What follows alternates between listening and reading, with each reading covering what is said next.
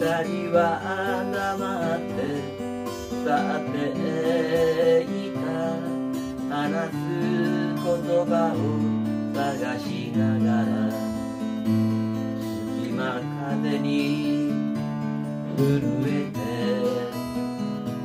ていくつ駅を過ぎたのか忘れて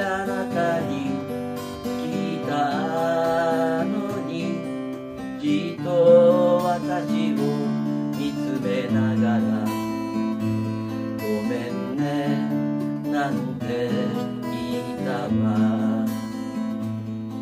泣いてはダメだと胸に聞かせて白いハンカチを握りしめたの。池上線が走る街にあなたは二度と池上線に揺られながら今日も帰る私なの。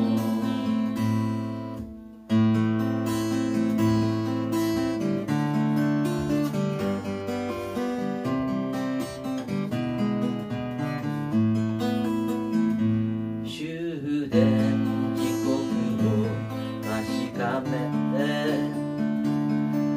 たは私と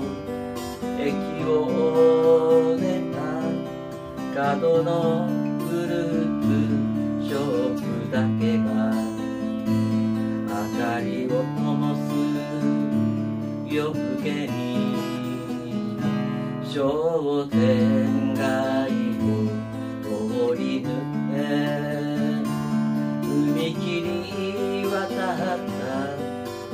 だわね待っていますとつぶやいたら突然抱いてくれたわ。後から後から涙が溢れて後ろ姿さえ見えなかったの。